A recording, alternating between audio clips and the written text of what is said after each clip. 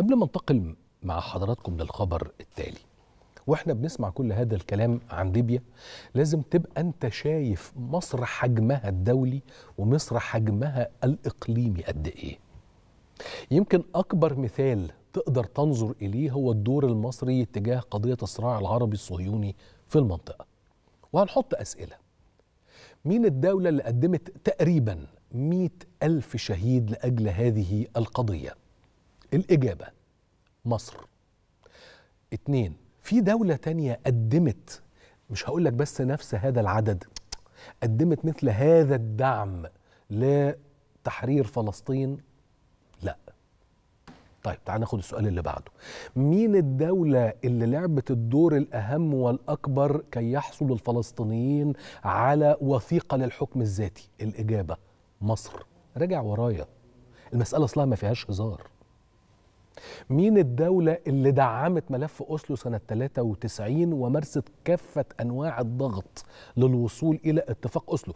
أنا ماليش دعوة بعد كده إيه اللي حصل. يعني كنا اتفاق أوسلو ده بنسميه وديعة رابين. بنسميه مين؟ هبقى أحكي لك بعدين. المهم بعد مقتل رابين إيه اللي جرى؟ مش أنا اللي مسؤول عنه بقى. بس مين غيري عمل كده؟ ولا واحد. حرفيا ولا واحد.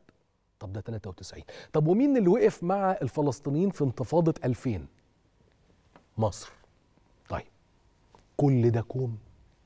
وتعالى نروح على ما بعد 2014 كوم تاني خالص. كل الجهود المصرية بكل ما تملكه مصر من قوة وتراكم خبرات وعلاقات دولية علشان نقدر نوصل لمصالحات فلسطينية فلسطينية. لتهدئة ما بين الفصائل لتهدئة ما بين الكيان الصهيوني في عدوانه المستمر وما بين الفصائل الفلسطينية والفصائل المسلحة الفلسطينية التي تؤكد على دعمها لأجل حرية الشعب الفلسطيني.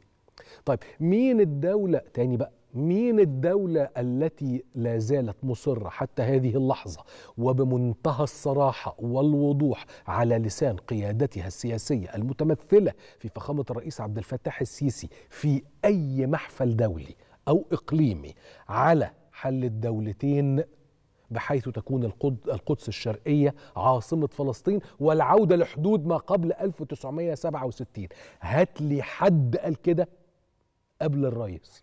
أو زي الرئيس طيب وهو مين اللي راح علشان يعمل مشروع كبير لإعادة إعمار غزة؟ مين تاني اللي عمل كده؟ بجد؟ أيوة في دول كتير في الدنيا أغنى مننا بكتير.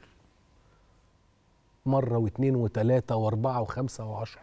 بس مين اللي عمل كده؟ السؤال بقى مين اللي قدم الدعم الحقيقي لفلسطين؟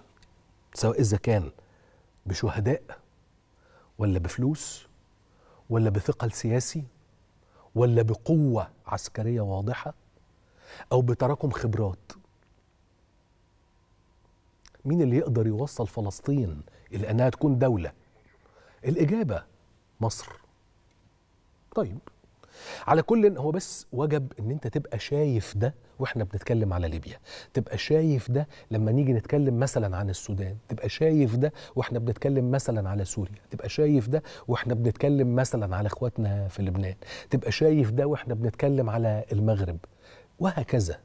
لازم تشوف ال ال الاتجاه أو طريقة التعامل المصرية مع كل مشكلات الإقليم وأزماته.